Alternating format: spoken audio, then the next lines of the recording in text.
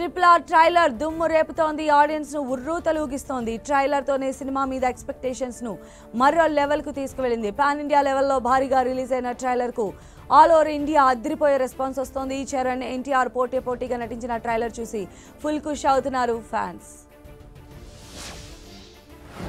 రెండు వందల థియేటర్లలో ట్రిపుల్ ఆర్ ట్రైలర్ను రిలీజ్ చేసింది జక్కన్న టీం నిన్న ఉదయం నుంచి అభిమానులు థియేటర్ల దగ్గర సందడి చేశారు. ఇద్దరు హీరోల ఫ్యాన్స్ సంబరాలు చేసుకున్నారు.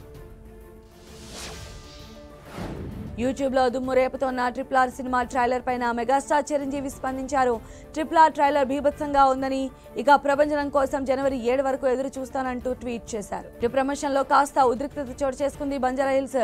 పీవీఆర్లో రాజమౌళి మీడియా సమావేశం ఏర్పాటు చేయగా హీరోలు రావడం లేదని తెలిసి అభిమానులు ఆందోళన చేశారు. అయితే అభిమానుల ఒత్తిడి కారణంగా హీరోలు ప్రెస్ మీట్కు రావడం లేదని రాజమౌళి ప్రకటించారు.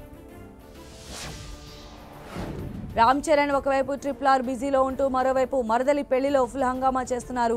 ఉపాసన చెల్లె అనుష్పాల పెళ్ళిలో బాలీవుడ్ సాంగ్స్కి స్టెప్లు ఇస్తూ ఫుల్ ఎంజాయ్ చేసిన వీడియో సోషల్ మీడియాలో వైరల్ అవుతోంది.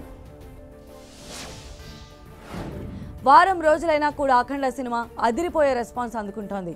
బాలకృష్ణ బోయపాటి కాంబినేషన్లో రిలీజ్ అయి వంద కోట్ల కలెక్షన్లకు చేరువవుతూ ఉండడంతో వైజాగ్లో అఖండ టీం విజయోత్సవ సంబరాలు గ్రాండ్గా సెలబ్రేట్ చేసుకుంది. సక్సెస్ మీట్ కోసం వైజాగ్ వెళ్ళిన బాలయ్య అప్పన్న స్వామిని దర్శించుకున్నారు. అఖండ మూవీ సినిమా ఇండస్ట్రీకి ఒక ధైర్యాన్ని ఇచ్చిందన్నారు.